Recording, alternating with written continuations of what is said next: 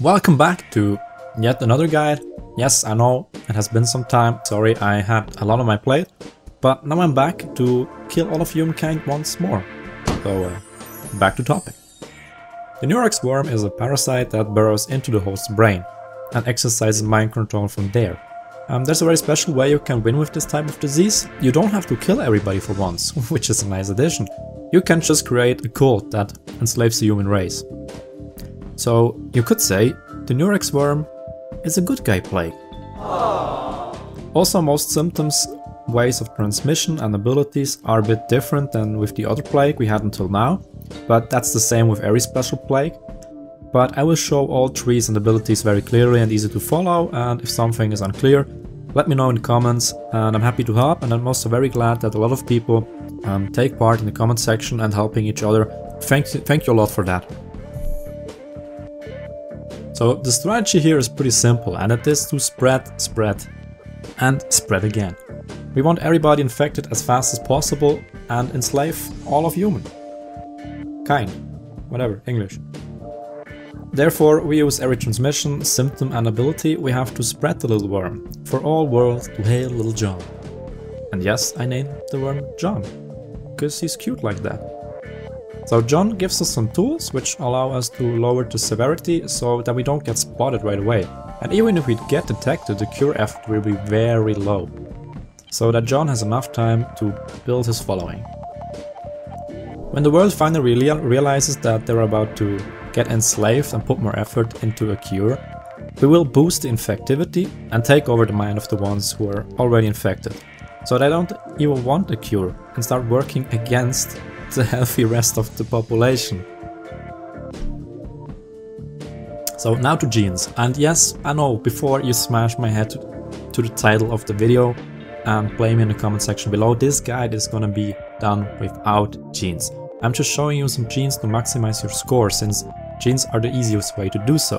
But again, the run I'm about to show you works without any genes, okay? Okay. So ATP booster, pick whatever, Every single one of them will help. ATP booster gives you a head start, while the other two, cytochrome and metabolic jump, help you on the long run.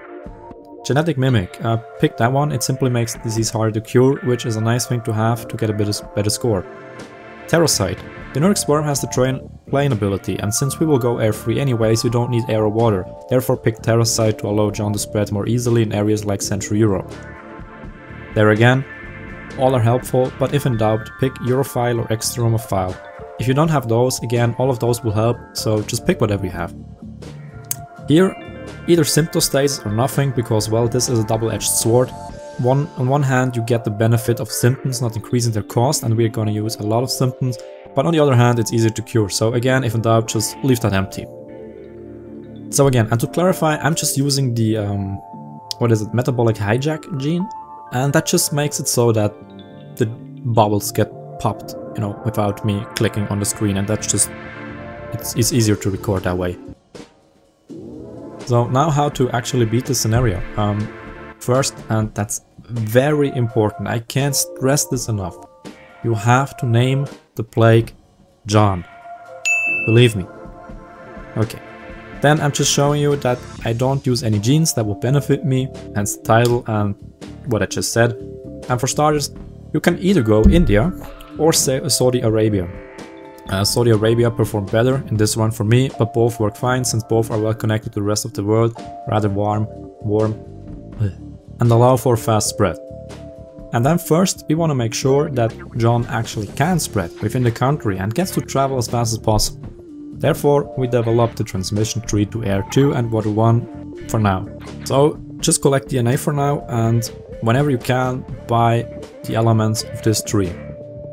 After you have evolved this tree, we should see John starting to visit new countries very rapidly. So now that the little worm starts visiting foreign countries, it's time that we work on disguising John. And we do that by lowering the severity. It takes longer until he gets detected and even if he does, the cure effort will stay low.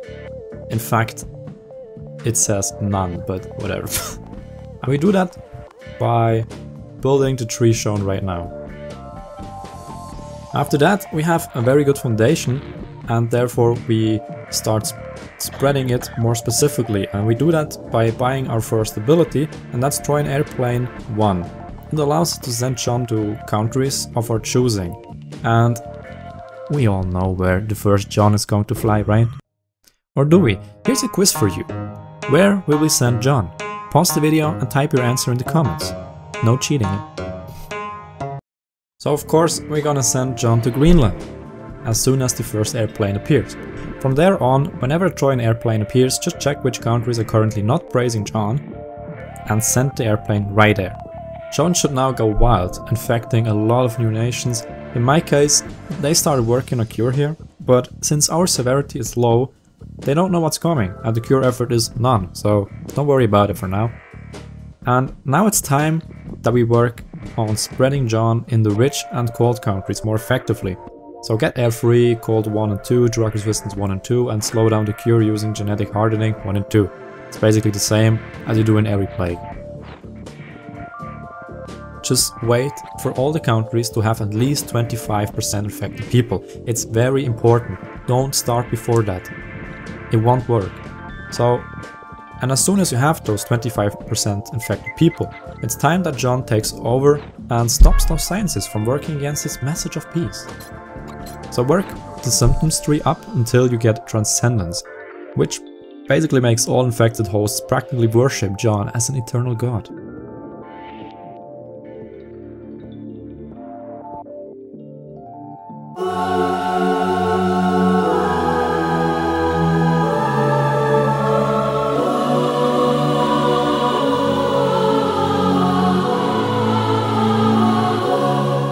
From now on, our only goal is to slow down the cure, so get genetic reshuffling as you do it in every plague.